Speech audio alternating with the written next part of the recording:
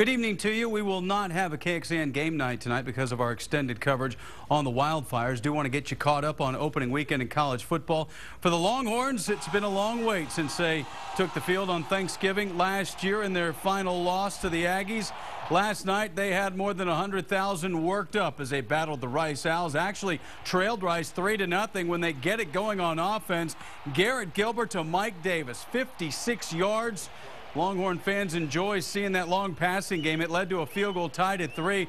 David Bailiff and Rice played him tough, but this muff punt really costly. Adrian Phillips pounces on it for the Longhorns, and then big Cody Johnson slams his way in early in the second period, and the Longhorns take a 10-3 lead. How about true freshman David Ash in there taking a snap, but that was only part of the play here. Fozzy Whittaker turn around John Harris. Are you kidding me? To the freshman Jaxon Shipley.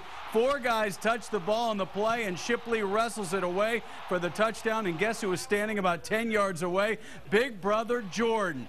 Jordan Shipley watching Jaxon make his debut. And then Fozzy Whittaker taking the direct snap. Little wildcat action. And Fozzy dances into the end zone. This was a ball game early in the second half, but the Horns would get some distance. And how about the true freshman Malcolm Brown? Didn't play in the first half, made the most of the second, his 86 yards. Fourth best debut by a Longhorn freshman running back. And then Gilbert, the little flare to Fozzy Whittaker, catches it off his hip in the end. Longhorns roll. They keep Rice out of the end zone, and they win it 34 to 9, the final. Uh, this team has got a long way to go, but they've done everything we've asked them to do, and I thought they handled their poise tonight. Uh, they kept playing tonight. Um, I like the fact that we ran the ball for over 200 yards and, and we were uh, pounding the ball in the fourth quarter, and that's something we've been trying to do for the last three years and haven't been able to do it successfully. It was a lot of fun. Uh, you know, when you win, it's always fun. So uh, I had a blast out there.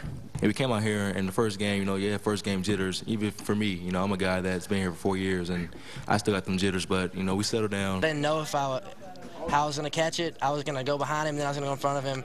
Ended up uh, just kind of having to make a play there at the end. I was I was really excited, um, you know, with those offensive linemen coming over there and and you know just celebrating with you. It's something that. Um, I'll never forget. It's, it's, one of the greatest moments in my life so far. It's just a little nerve-wracking as uh, when my name got called, and uh, just running out there, still nervous, and just once that first hit is out the way, it's real good, and it was just a blessing to be out there.